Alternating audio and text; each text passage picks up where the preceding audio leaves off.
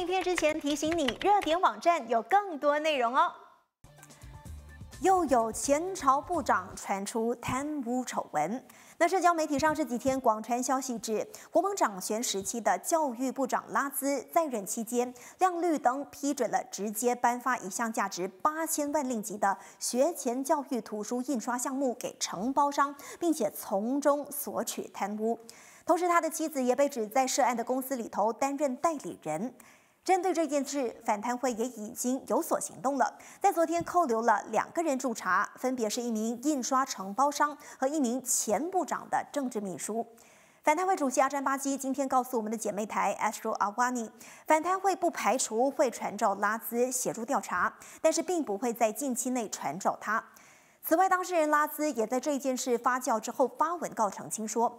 反贪会是因为他在九月十九号在国会上的言论，才会按照上级的指示来行事。他说，网上疯传的讯息都是在胡说八道，试图要诋毁他的声誉和形象。他也斥责反贪会不应该在没有证据的情况下，就援引一些恶意诽谤来展开调查。拉兹今天也特地跟妻子拍摄影片，进一步澄清事件和他没有任何关系。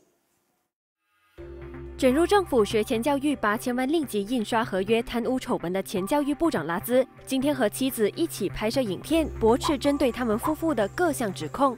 拉兹表示，谣传他的妻子是王室成员，以及跟涉案公司存在利益关系，都是虚假的指控。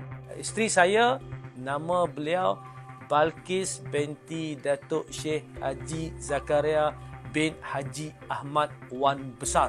Kalau sahabat-sahabat di Kedah tentulah kenal adalah seorang ulama besar negeri Kedah arwah yang banyak menerbitkan buku-buku sebab itu apabila keluar tuduhan kata isteri Razi ni kerabat uh, tengku kata saya ambil 80 juta saya tahu itu adalah fitnah yang amat amat besar 此外，这名土团党不成国会议员也在影片中呼吁造谣者主动向他道歉赔罪，并促请网民停止转发不实的贴文。Pada yang pembuat fitnah, ya anda mungkin gembira kerana fitnah itu dapat disebar itu gembira di dunia. Siapa yang buat fitnah ini kalau dengar video ini saya nak pesan.